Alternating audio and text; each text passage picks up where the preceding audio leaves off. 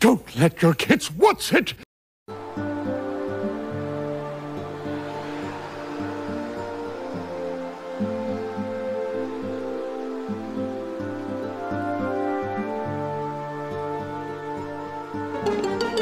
Ah!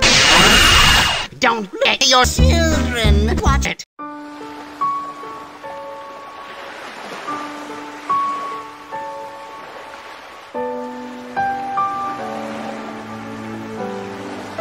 Scholastic, hide it.